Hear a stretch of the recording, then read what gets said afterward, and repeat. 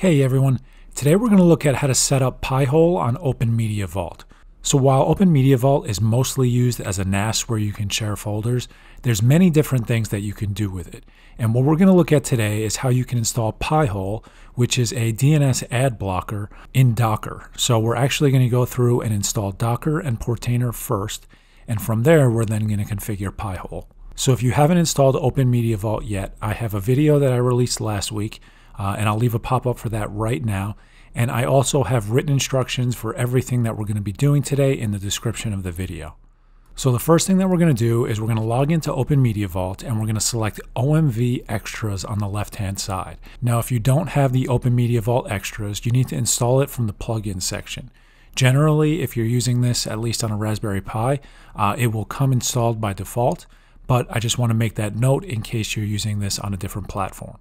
After that's done, you're going to select the Docker tab and then you're going to click the Docker drop-down menu and you're going to click install. This is going to run through and fully install Docker.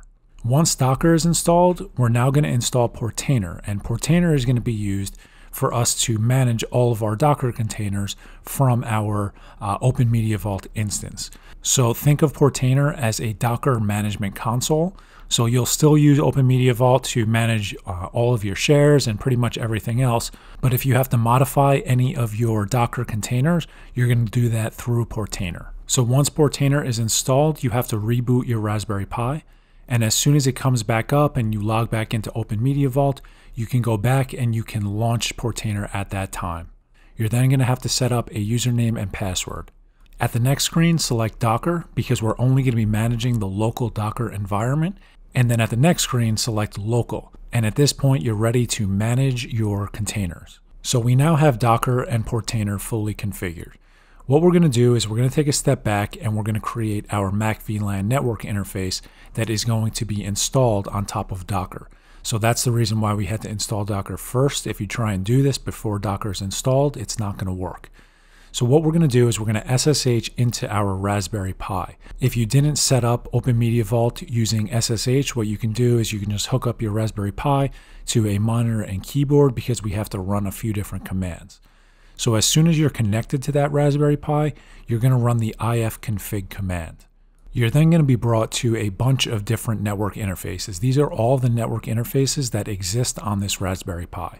So you need to find your Raspberry Pi's IP address. For me, it's 192.168.1.197.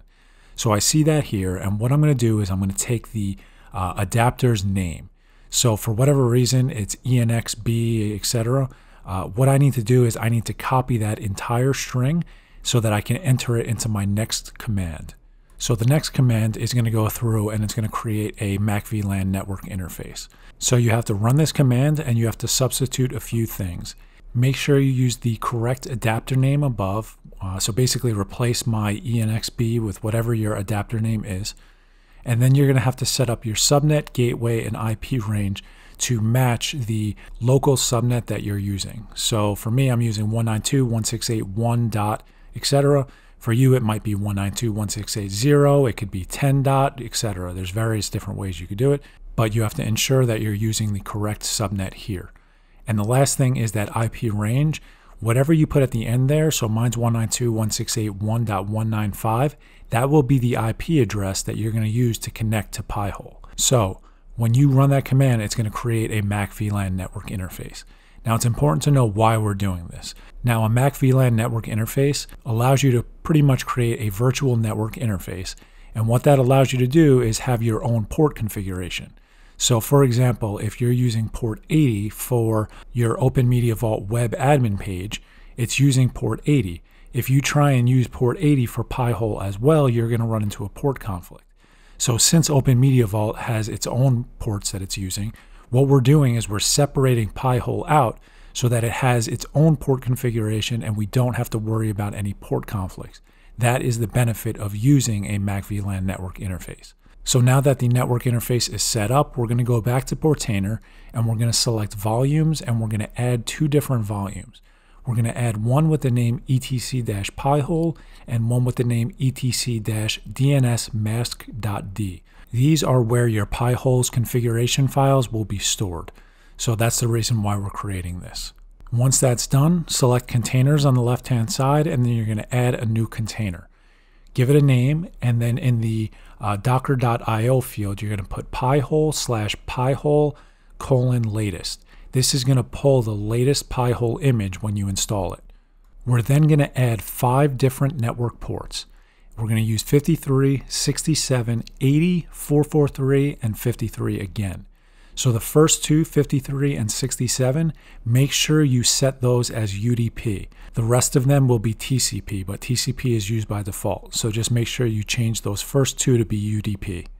We're then going to go down to the bottom and we're going to select volumes and we're going to map two additional volumes. For the first one, type in slash etc slash pi-hole and then you're going to select the pi-hole uh, volume that we created earlier and for the second one, you're going to do slash etc slash dnsmasq.d, and you're going to select the dnsmasq volume that we created earlier. As soon as that's done, you can head over to the network section and you're going to uh, select the ph underscore network. That's the Mac VLAN network that we created earlier. You can then go over to the environment section and we're going to add two environment variables. The first is going to be the web password and the second is going to be the server IP. So the web password, whatever you put as the value there, that's what you're going to use to log into the Pi-hole web page that we're going to get to in a little bit. Uh, the server IP, that's the IP address of that Mac VLAN network interface that we created earlier. For me, it's 192.168.1.195, but if you are using a different IP address, you'll have to put that there.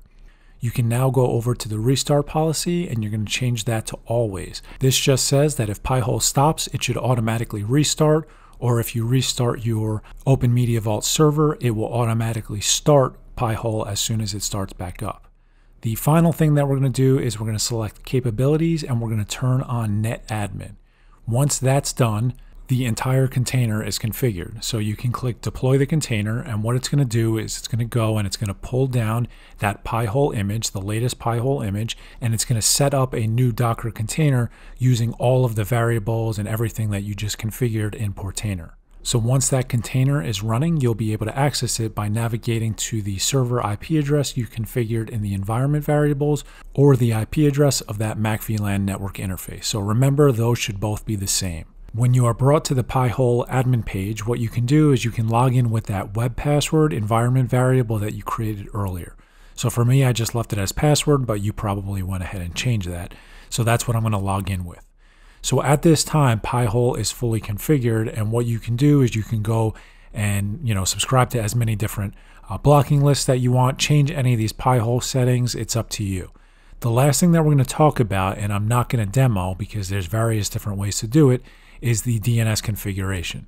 So on the written instructions, I have a few different ways that you can configure your DNS server, meaning that you can do it on the, uh, the client device itself, or you can do it on the router. My preferred uh, method of doing this is on the router so that all of my devices that are connected to my router will automatically use this Pi-hole server as their DNS server.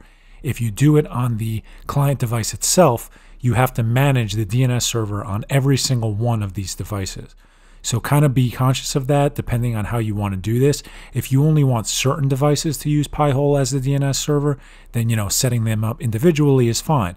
But if you want to go through and you want to set up all of your devices on your local network to use Pi-hole as its DNS server, you should go into your router's configuration and change the DNS servers there. So this is a perfect time to bring up that while we just created uh, Pi-hole as a DNS server, it's very, very important to ensure that you have redundant DNS servers. So whenever you log into your router's page, you're most likely going to see that there are two lines. There's a primary DNS and a secondary DNS. The reason for that is because if the primary is down, the secondary will be used.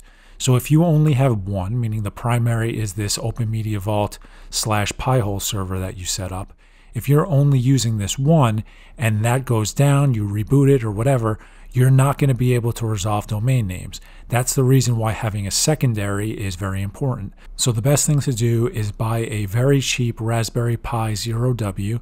They're like 10 bucks, 15 bucks, something like that. I'll leave a, uh, a link in the description for that. Uh, but buy one of those and you can configure Pi-hole on that as well. So I created a video on how you could do that. I'll leave a pop-up for that now. But what that's going to do is that's going to allow you to have redundant DNS servers. There's also various uh, different devices you can configure Pi-hole on. You can set it up on a Synology NAS if you happen to have one of those.